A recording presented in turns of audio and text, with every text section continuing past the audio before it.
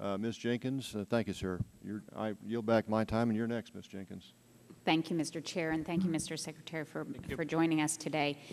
As you know, manufactured housing regulated by you provides affordable, non-subsidized home ownership for millions of Americans and consumers, particularly lower and moderate income families.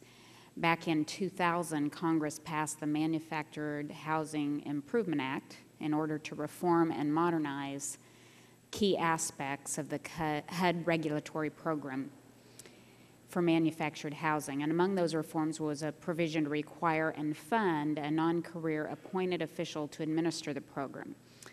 We have been advised, though, that this position has not yet been filled. Do you intend to fill the position with a political emplo- uh, appointee?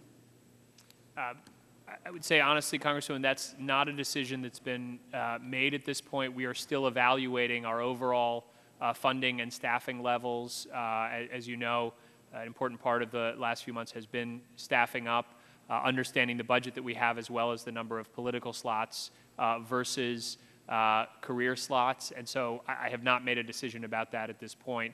I would be happy to discuss with you further your interest in that, and we'll make sure uh, when we've made that decision to, to let you know. Okay, any timeline? Uh, I, I, I don't have a specific timeline at this point. Uh, given your interest, I will certainly uh, pledge to you to get back to you quickly on it. Okay, excellent. Could you also comment on how you view the department's implementation of the Manufactured Housing Improvement Act? And um, are there any aspects of the legislation that needs to, need to be improved upon? Well, one of the early uh, issues that I faced uh, when I arrived as secretary is that there were uh, important provisions in Title II that were passed uh, last summer that had not yet uh, been implemented. And in fact, there was concern within the department uh, that we might, might need an extended rulemaking process to implement those, despite the wishes of Congress to, to move quickly on that.